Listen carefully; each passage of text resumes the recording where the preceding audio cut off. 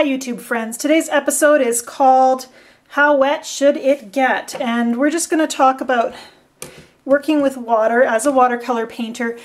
I think one of the hardest things at first is just to figure out how wet everything should be. And uh, you're either going to work too wet or too dry or not get your color rich enough. So let's just talk about the different kinds of um, saturation that you're going to get on your paper. Zoom right in. And uh, we're just going to start by talking about dry paper, obviously. And we're going to be quite dry here. I'm going to just start a little bit of green.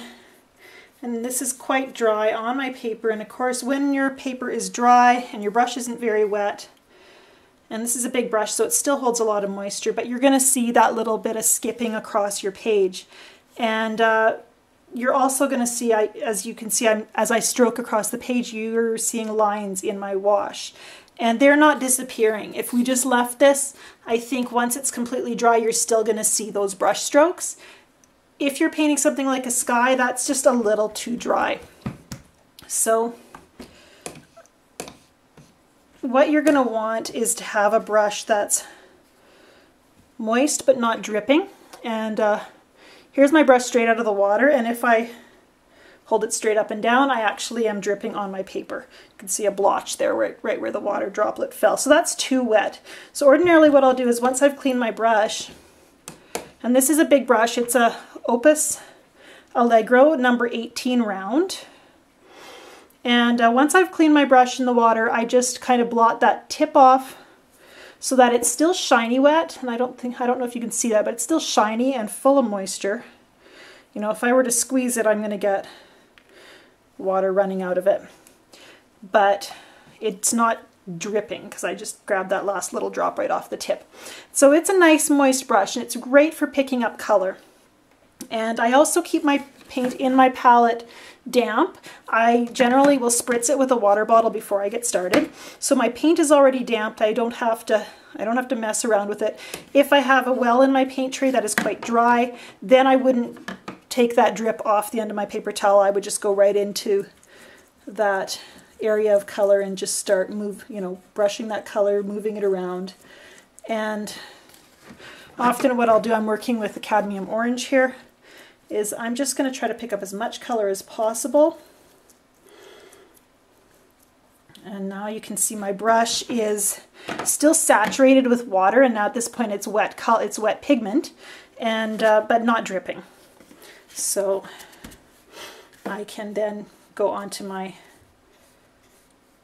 paper and what I'm getting is instead of just having streaks of color there's actually a bit of a sheen to my paper and I'm not sure if you can see that and, uh, but there's enough moisture so that if I tilt it, it does want to run a little bit. But, so it's enough that my brush strokes that are side by side, that are contiguous to each other, will run together. And so I don't get the streaks that I have in, had in my green that was too dry. So it's a shiny moisture that you want from your brush. Quite a moist brush. Of course, if you're too wet, that's the other side of it. And uh, often you'll get that when you're mixing up a puddle of color in your palette. So I'm just going to mix up a blue here. And I'm going to make a nice big puddle. I always try to have lots of color. This is going to be quite a pale blue. But if I start slapping that on my paper here, and I'll just go down to this area,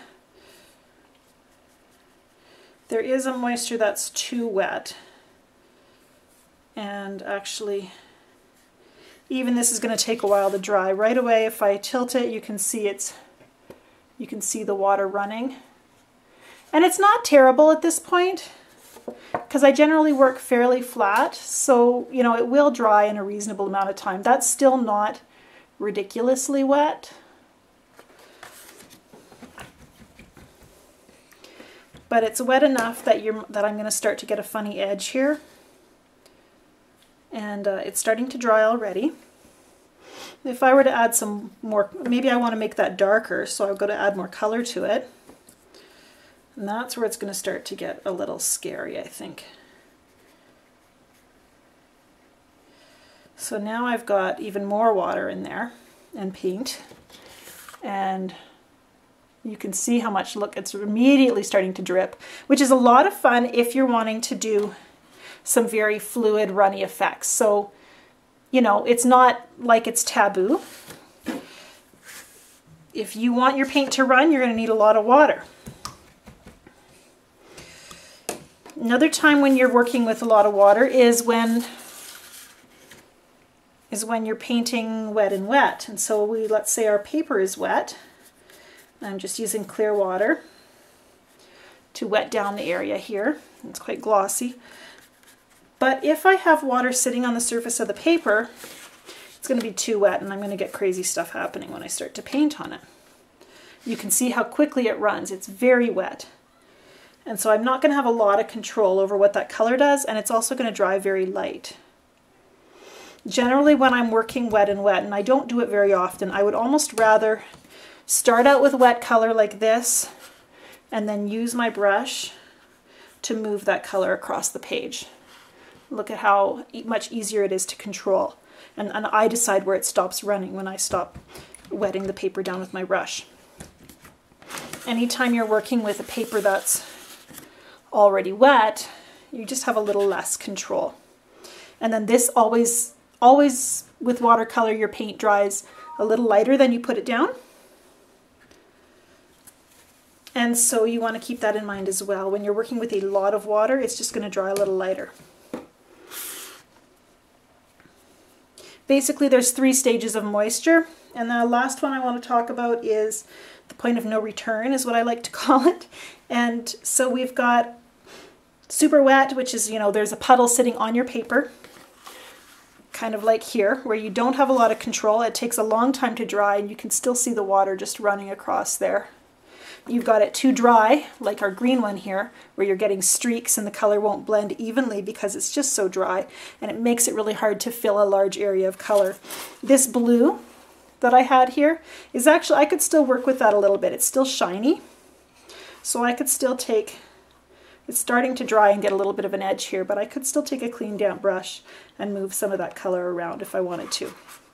And I could even go in and add some additional color and let it blend.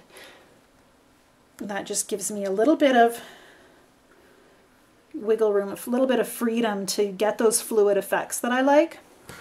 As you can see, it's as long as it's kind of shiny and wet, you can keep adding color but there comes a point that I, like I said, I like to call it the point of no return. And that's when you've got an area of color like this one here. Once it loses its sheen, it doesn't have that shiny look anymore, but it's still damp. If you start to introduce water at that point, it's going to start to do little funny things. The water will actually push the color away. And I'll see if it'll do it here. This one's still a little bit damp. The water will start to push the color away. You can see kind of a bloom starting in this area. And uh, it'll be even more dramatic if it was a little bit drier.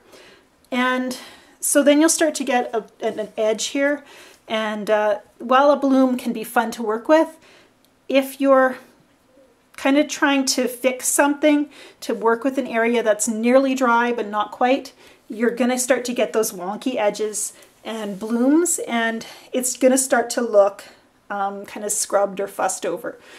Just like, actually, this is a good example right here, this drip of water that landed on this green when the green was almost dry, and you can see the edge that right there that, that resulted, that little crisp area. Anytime you're wanting to layer color or water over a painted area, you want it to either be shiny damp so that you can allow the colors to blend and mix, or you want it to be completely dry so that you can work over top of it without disturbing the surface too much. So like I said, we've got shiny wet, we've got um, almost completely dry, which is where you're going to get those brush strokes, which can be a good effect if you're wanting to work with dry brush. Or we have kind of that in-between point of no return, it's lost its shine. That's the time to sit down and let it dry and think about your next move in painting. So give out, give those a try and uh, just learn to identify what your paint is going to do at those different um, wetness points.